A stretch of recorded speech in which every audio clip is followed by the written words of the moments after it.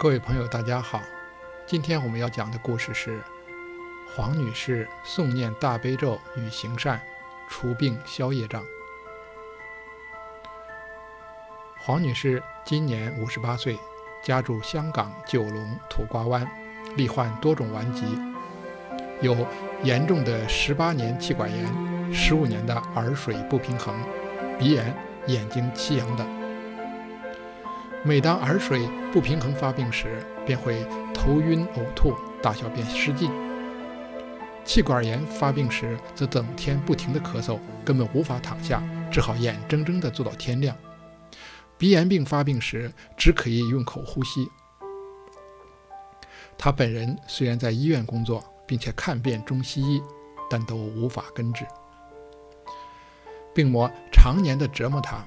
而且她丈夫非但没有给予同情帮助，更时常无理取闹，使他身心受创。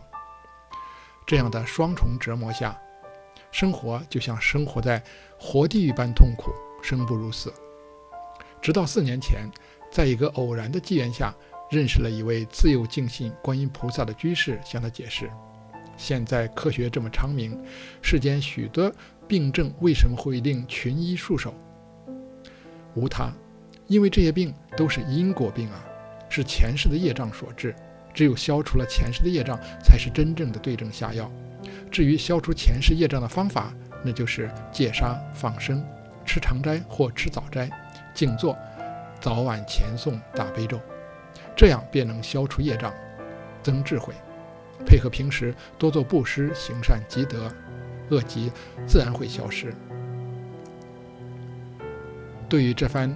提示：黄女士如获至宝，立即坐言起行。四五年来，黄女士早晚从不间断地虔诚地诵念大悲咒，并且坚持静坐。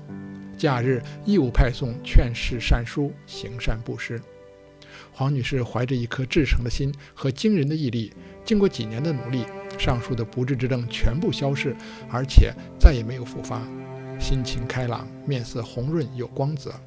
更不可思议的是，她丈夫也改变了原来冷漠的态度，关心和爱护她，而且也敬信观音菩萨，家庭充满和睦和温馨的气氛，真正体尝到人生的幸福。黄女士感激观音菩萨的感应，大悲咒的灵验，现在更加认真地做好每天的早晚课，虔诚地诵念大悲咒和静坐，积极地参加各种慈善活动，出钱出力，行善唯恐不足。以现身说法诵念大悲咒，使他根治多年顽疾的灵丹妙药，以度善心。好了，今天的故事就讲到这里，感谢大家的观听，再见。